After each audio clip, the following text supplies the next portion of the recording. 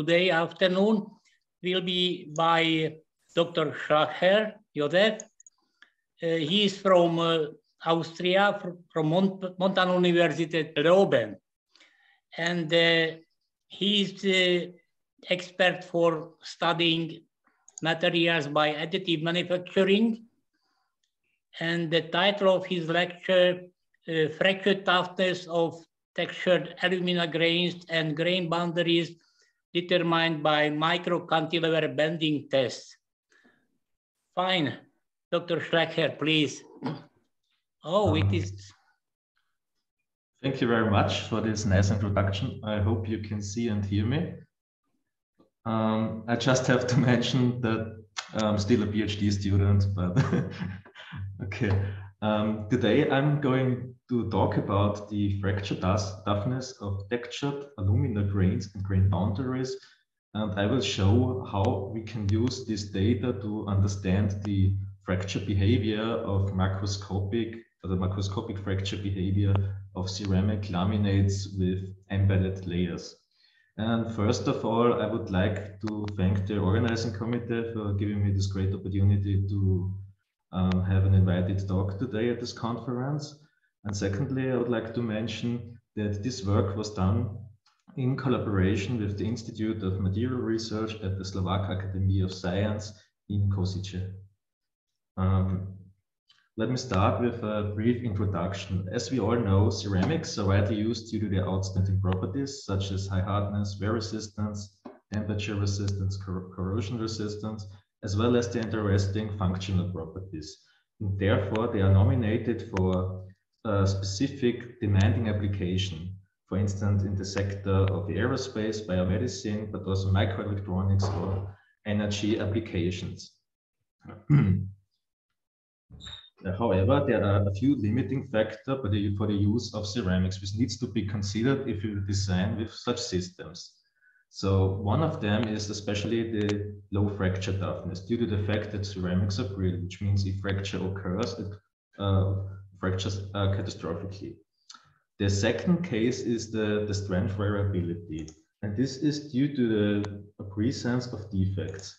Um, if we think about defects, which can be either on the surface due to machining, handling, and so on, as well as volume defects, which are, for instance, pores or agglomerates, classifies pressing defects, and so on. Um, we know that this can affect the strength uh, characterization. And due to the fact that these defects differ in their size, shape, and location, the ceramics cannot be described with only one single value. Therefore, we need to do uh, uh, statistical analysis like the Weibull statistics. And what we can see here is that we have strength distribution of, of several samples. And depending on this, we see that the failure stress is indirectly proportional to the critical defect size, which means that high critical size of the, of the these defects will uh, reflect the low strength value. And the motivation of our research at the Institute is how we can we overcome this brittleness. So let's say if a, a crack initiates that we can somehow act against crack propagation or even arrest it so to avoid catastrophic failure. And in this, by doing so, we are uh, taking a look on the nature and how, what we can learn from it. So if we take, if we see here, we have uh, such nacre, which is composed of uh, um, calcium carbonate platelets uh, surrounded with an organic layer. This organic layer is about 1%, and it is uh, it allows to shield the crack along to these platelet interfaces to enhances the fracture energy. So we would like to learn from it and mimic it in more technical ceramic systems to act against the crack propagation. And now I come to the actual content of this talk. So first of all, I would like to give an overview what has been done in the field of bio-inspired designs. Then I will focus on ceramic laminates, which is more or less um, the work of my PhD thesis, and how can we enhance the damage tolerance? And this can be either through architectural designing. So how can we build up the layers to uh, uh, improve the properties. And secondly, I will show you how if we go inside one layer, how can we improve still the properties by tailoring the microstructure? And the word here is texturing. So mimicking these, these natural systems, what we have seen before. And to understand how the crack propagates along these layers or these textured grains, um, we were using this microscale fracture toughness evaluation to understand the microscopic fracture behavior. And last but not least, I'm going to show you how we can go with the novel um, 3D printing techniques so far. So if you think about natural system, uh, natural materials such as um, wood, bones, nacre, they all have in common that they are hierarchically arranged from macro to micro scale, which means if you take a look on nacre, um, there are several toughening mechanisms and different length scales. If we go inside the microstructure, we, we can see that these calcium carbonate platelets are somehow connected with mineral bridges, with aspartate, and also with this organic layer I've already mentioned before. And all these have an effect on the toughening during fracture at the microscale level. And together with the macroscopic um, grain um, platelets pull out, it enhances, so to say, the fracture energy. And the result can be seen here. If you take a look on the fracture toughness on nacre, it is much higher than its constitutions, like this nacre protein, so calcium carbonate, and uh, sorry, this aragonite, this calcium carbonate, and this organic layer. And there's much research done in mimicking this by using nacre-like alumina. And, and since the strength and fracture toughness are mutually exclusive, so we are thinking about what, what can we do to, to enhance both. And what has been done so far from other research groups, they were focusing on concepts for nacre-like aluminas, and they played with the compositions of this brick, alumina, and mortar, uh, the second structure. And if you take a look on this diagram, we can see on, on this landscape that by using the last two ones with more mineral phases, Bouville, the research group of Bouville showed you can uh, achieve relatively high fracture toughness and, and a good uh, strength value. So the question is, how, how can we improve both the resistance to crack propagation and the mechanical reliability, even by severe conditions, which means at high temperatures or if we let a crack start, how can we um, stop it? Which is important for, as instance, contact applications. And we are focusing on the ceramic layer by layer architectural designing. And together with this architectural designing and the microstructure, we were looking for um, better systems. So let's start with the architectural designing. If we think about a layered system which are strongly bonded, and if it undergo differential shrinkage from going down from sintering temperature to room temperature, stresses arises within the layers. And the strain mismatch can be either due to phase transformation, as is in the case of zirconia, chemical reactions, for instance, in gorilla glasses, or um, most commonly in ceramics, the difference in the CTEs. If we take again a closer look, and we assume that the the CTE of, of, of the material A in blue is higher than B and we would cool it down, we would introduce uh, tensile residual stresses in the surface layer and compressive residual stresses in the embedded layer. And they, these residual stresses can be analytically calculated or estimated. And what is important to see, say is that especially the thickness ratio, volume ratio plays a big role in designing. So we want to use these compressive residual stresses. So depending on the um, position of the compressive residual stresses, either outside, which is to enhance the mechanical resistance or to enhance the strength to shield the crack on the top surface. This is important for scratch resistance and contact applications, or as well known from these handy displays. And we are more focusing on this damage tolerance system, which means we are embedding the layers uh, by using tailored compressive residual stresses to act against crack propagation. And as you can see here, this is a thermal shock samples that cracks which are initiated at the surface are stopped in these embedded layers due to this acting of the compressive residual stresses. And we would like to, to know how, how can we further improve the system um, or the, the, the, damage tolerance? And the, the answer is texturing the embedded layers. And with texturing can be done by the tape casting process. And here you have a slurry with aluminum, small aluminum particles, and you add um, some seeds, let's say, uh, uh, uh, larger platelets with a specific aspect ratio.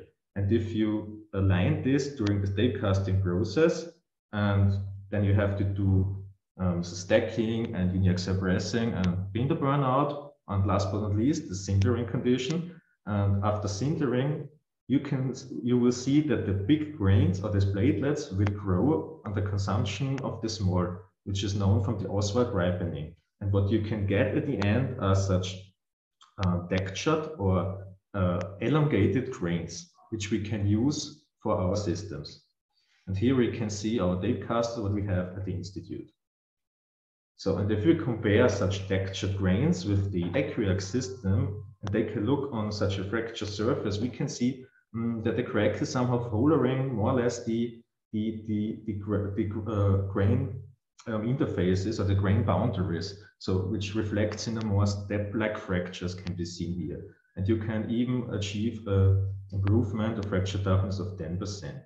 If we would combine this system in a layered way, um, then you have, as we know from before, the crack arrest due to compressive, compressive residual stresses and some kind of deflections again along the basal grain boundaries. And this is due, uh, th this is what we are interested right now.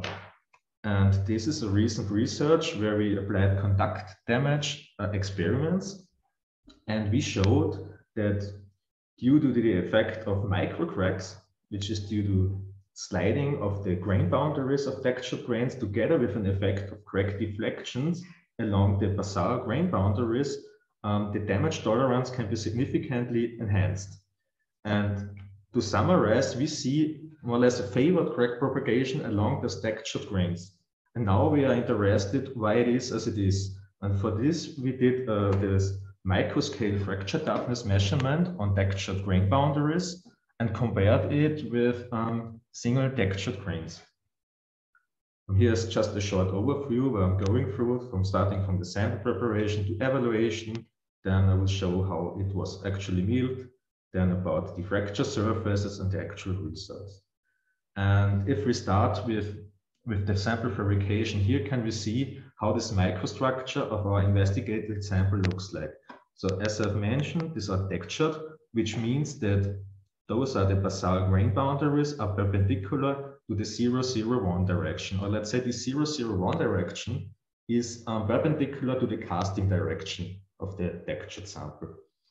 And we did uh, prior to this study uh, um, XRD measurements to quantify the texture grade. And what we see here from XRD measurements, and especially the 0006 and the 0012 are um, plane is dominant in this microstructure. And this is corresponding to the 00 set uh, orientation of the textured grains. So, and that if we would calculate a Lotgering factor, which is more or less a uh, calculation um, where we can quantify the texture grade, we could see that the, the texture grade is 80%. So you imagine the Lotgering factor of 100% would mean perfect texture without any disalignment. And this is well comparable with other textured materials found in the literature. And the question right now is, how can we um, test these basal grain boundaries? Because we are more, what, what we saw actually is that the crack is favoring along these grain boundaries.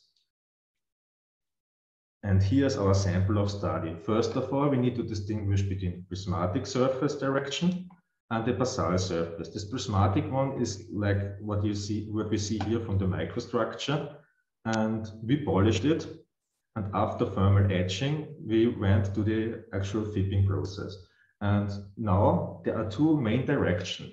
The first is where those cantilevers are aligned over several uh, grain boundaries in C direction, which is uh, the 001 direction and the notch is perpendicular to this C direction. So you actually notch in basal orientation of the grains. And the other case where we we would like to introduce cantilevers inside one such a textured grain, which is aligned perpendicular to the 001 direction. And the, uh, if the fracture starts at the, at the notch, you, we would see the fracture along the um, prismatic facets here. And by doing so, we started with the tip milling of, um, of the actual notch. So this was done by using a low current of 50 picoamps to avoid some kind of ion damage and so on. And we introduced 10 microns notch at the beginning for 30 seconds. This reflects to a depth length of about 100 uh, to 300 nanometers. And afterwards, we used the coarse milling with higher current to um, fabricate these trenches and the coarse shape. And with a finer, uh, a lower current, we use the milling of the designed size. Uh, but, but, right now, the, the, the, cantilever is still connected at the bottom with the material. So we shift um, the, the sample and we flipped from a um, tiltment of about 52 degrees to get such a pentagonal shaped notch, uh, shaped cantilevers. And after uh, the successful flipping, we did the sample under the nano indenter and tested it with a spherical tip of one micron. So fractured it. And here can we see schematically how that this um, cantilever looks like. So as I've mentioned, we have a pentagonal shape. And important is to measure the distance and the crack length as uh, depth, as well as the distance of the loading point for the calculation. And we calculate according to the linear elastic fracture mechanics. So where we see that this fracture toughness is depending on sigma, which is the fracture stress. So right now it is important to emphasize that this is the actual um, sur uh, surface stress at the specific location, but we need to consider the, the surface state, uh, the, the, the stress state at the notch. And to reflect this, there is a need to calculate a so-called shape factor. And yeah, this alpha is the notch length, which, which will be um, measured after fracture. And how can we calculate such a shape factor for the evaluation? We did a finite element analysis. So we modeled uh, this pentagonal shaped cantilever, assumed isotropic material behavior, and we applied a load of 2 millinewtons for different crack sizes. So we introduced crack sizes between um, 100 and 1000 nanometers.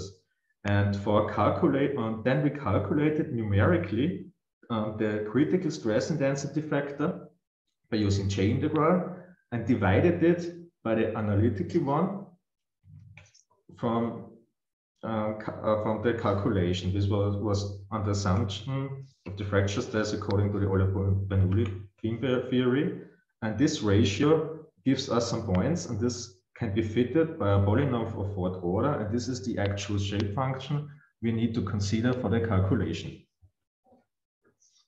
And as we can see, the shape function is dependent on the notch length, or we have normalized the notch length for better um, calculation, easier calculation. So, and what we can, what did we actually get from the milling?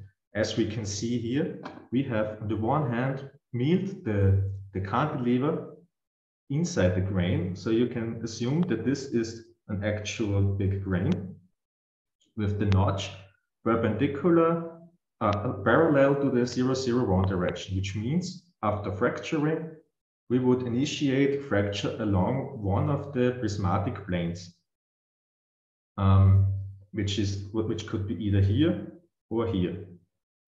In the case of the cantilever milled at the at the at over several grain boundaries, we see that it is aligned in C direction, which means that the actual fracture will start at the C plane of such an alumina crystal structure.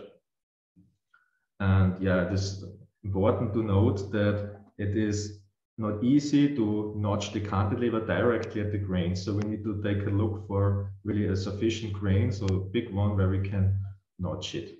And on the side, we can see the pentagonal uh, surface before fracture. So this is actually here. And what we can see here, the natural porosity of the microstructure itself. So what we uh, what we can also see here is that the cantilevers are a bit different in their design sizes. So they are designed in the same way, but the actual mill cantilevers are a bit different. And so compare the fracture behavior, let's say a small and a larger cantilever, there is a need to convert the, the force um, displacement data, data, what we get from the nano indentation to, uh, so to say, effective stress strain data. And what we can see here that all the curves from the grains as well as the grain boundaries show linear elastic fracture behavior, which means that this calculation, even at micro scale, according to this linear elastic fracture behavior is valid. Furthermore, we can somehow um, estimate by dividing sigma to epsilon the, the stiffness of the cantilevers, but it is important to note that this is, so to say, an effective Young's model because we have the cantilever notched.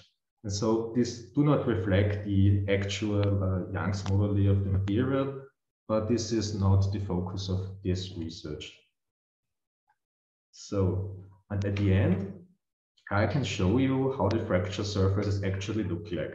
So if you take a look on the grain, we can see here the very nicely the introduced notched. So from these surfaces, we can um, measure the notches, make an average value and use it for the calculation. What we can further see it is that the remaining fracture surfaces is really smooth. So I have uh, compared it with uh, experiments in the, the literature, and this is typically for fracture along of this prismatic M or A plane. So it's either this plane or that plane.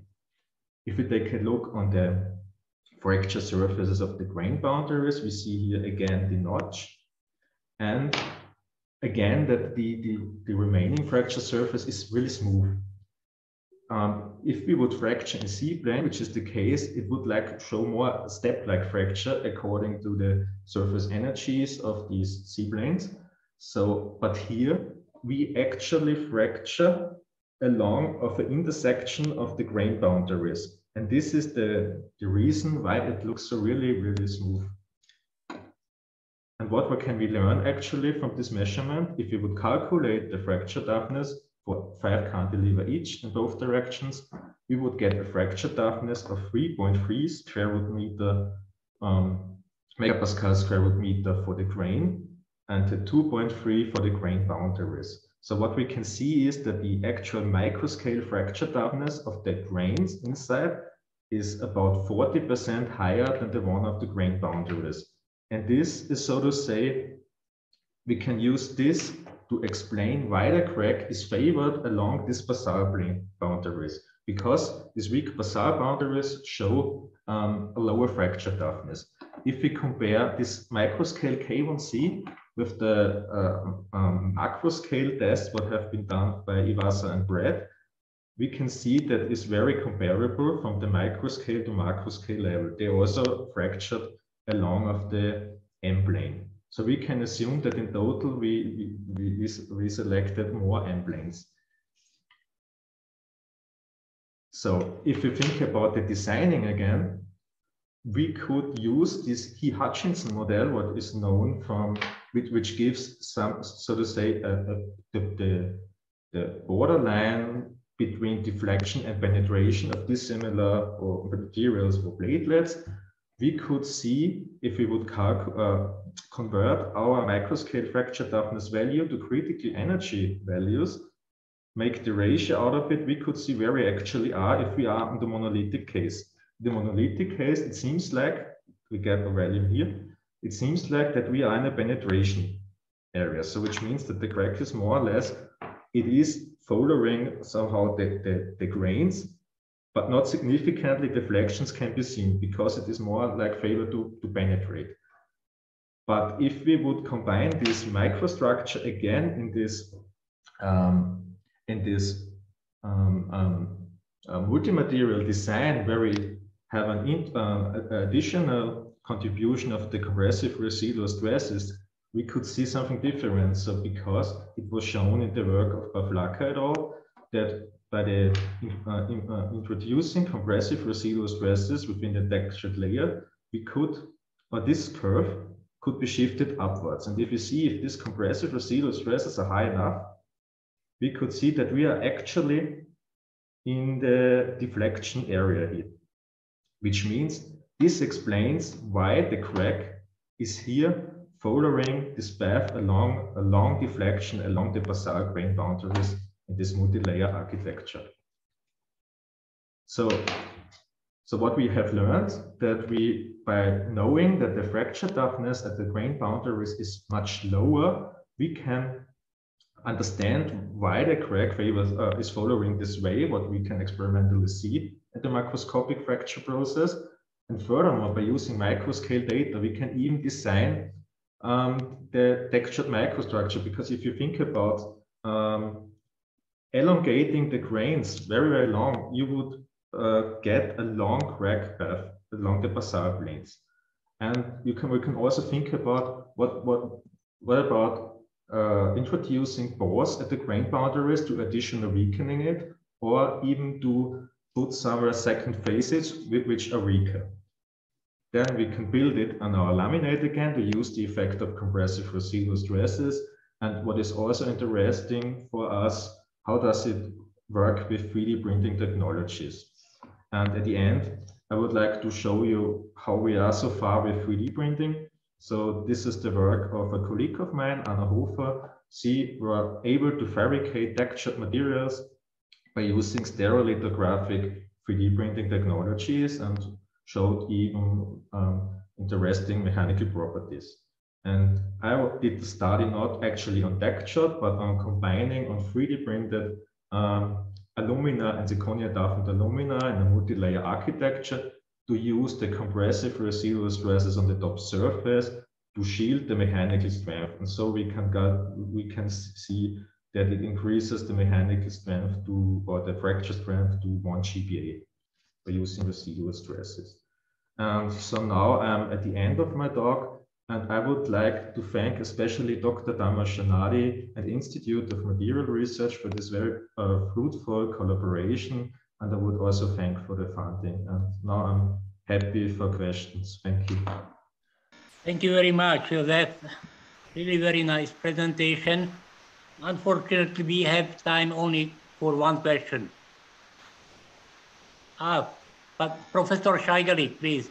I have very one short. Do you think that the thermal expansion coefficient mismatch is only parameter which influence the introduction of the internal stresses to these layered materials? Because I, I will follow uh, with my my uh, experience.